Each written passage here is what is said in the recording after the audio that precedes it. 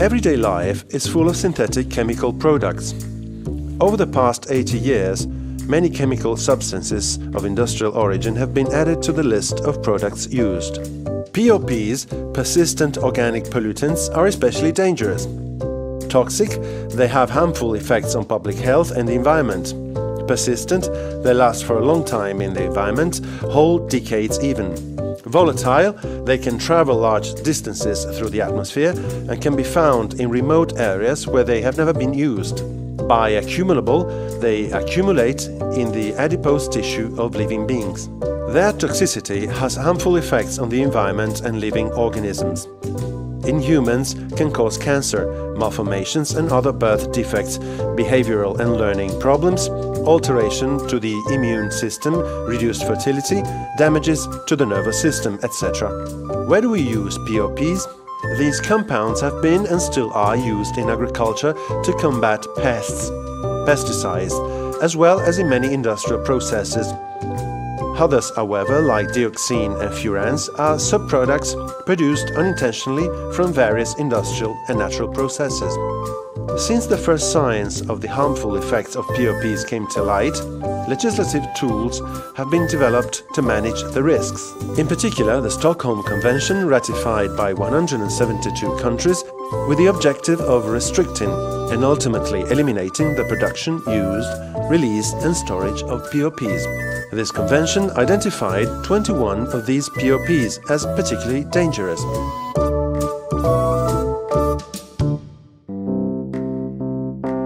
The proliferation of pesticide used in agriculture and the accelerated pace of developed societies have led to a food industry that is based on packaged products and the presence of large number of chemical substances.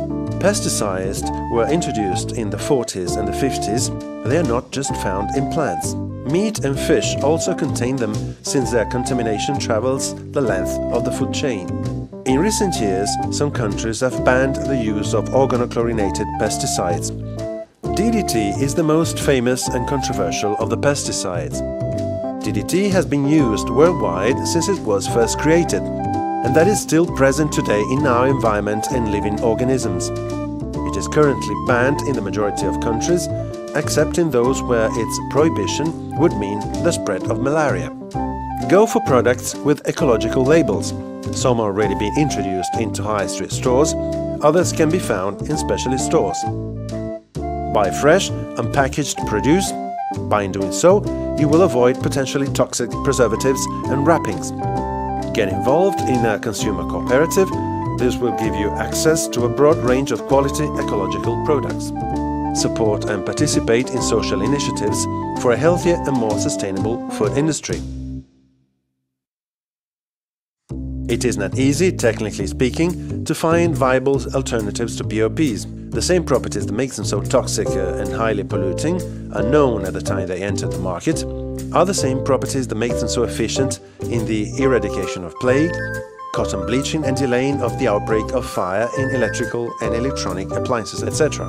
However, since the first signs emerged of their harmful effects on human health and uh, the environment, research is being carried out into green chemistry and new laws and conventions have been passed to move forward a future free from POPs.